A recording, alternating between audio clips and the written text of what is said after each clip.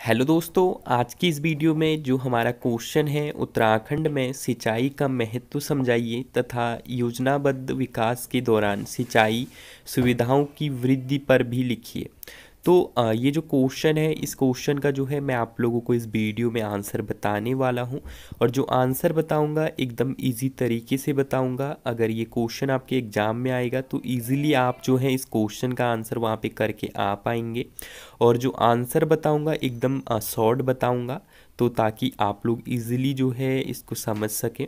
तो चलिए जो आंसर है उसको देखते हैं अभी। तो हमारा जो आंसर है कि उत्तराखंड में सिंचाई का महत्व विशेष रूप से कृषि और आर्थिक विकास में है। सिंचाई से निर्मित किए जाने वाले सुचारू कृषि प्रणालियों के माध्यम से फ़सलों की उत्पादकता में वृद्धि होती है, जिससे किसानों को अधिक आय मिलती है और खाद्य सुरक्षा बनी रहती है। और इसी में हमारा आगे हो जाएगा कि योजनाबद्ध विकास के दौरान सिंचाई, सुविधाएँ बनाना और मौद्रिक निवेश करना आवश्यक है।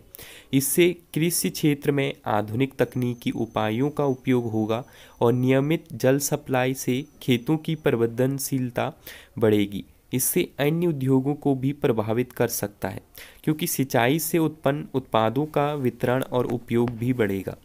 फिर इसी में आगे हो जाएगा हमारा कि सिंचाई के माध्यम से स्थानीय विकास में सुधार होगा, जिससे जल, ऊर्जा और खाद्य संसाधनों का सुस्त और सुरक्षित उपयोग होगा।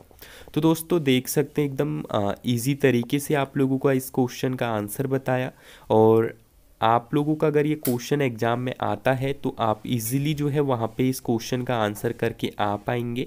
और अगर आपने अभी तक जो हमारा व्हाट्सअप ग्रुप है, वो ज्वाइन नहीं किया हुआ है तो नीचे कमेंट बॉक्स में जो व्हाट्सअप ग्रुप है, उसका लिंक दिया हुआ है।